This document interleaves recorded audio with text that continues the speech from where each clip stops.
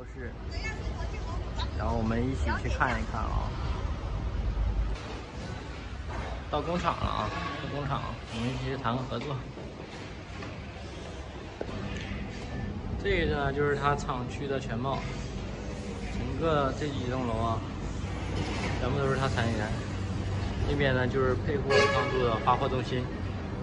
啊，全部都是箱货物流大挂车。这整个都是厂房。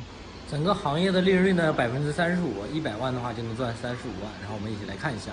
这总部直接配货啊，上万种产品，全部都是一元店、两元店的一个货源。这边整个产业园所有的商品呢，配货都是一块多钱。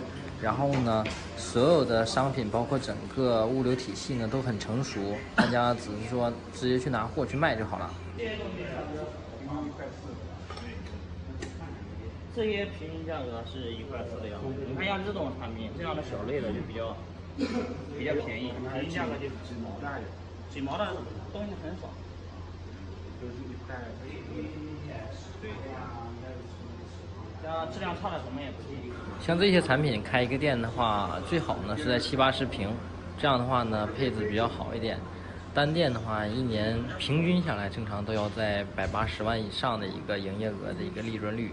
然后雇两个员工的话，这样的话就很轻松，啊，所以很多人看不起、瞧不起眼的一些生意，但是呢，它的利润率还是非常可以的。小东西嘛。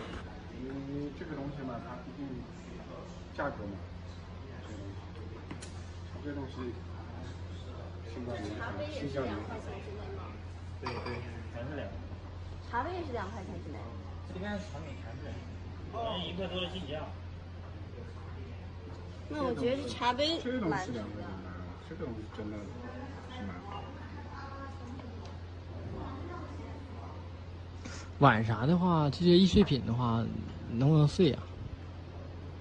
就是啊，容易碎不啊？你你说发物流？物流吗？发物流咱们有跟物流都有协议的，比如说我们发货率是好的，你陶瓷如果有碎的，那一箱里面会稀里哗啦的。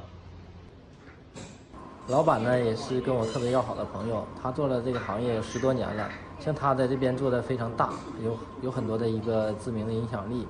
然后呢，这个行业他给我出了很多一些方案啊，后续呢跟大家一起去具体去好好的去详细聊一下。帅哥，这种是一包一块多吗？这种一块多的产品啊，做的还是比较利润比较好一点的，有的基本上百分之四五十甚至翻倍。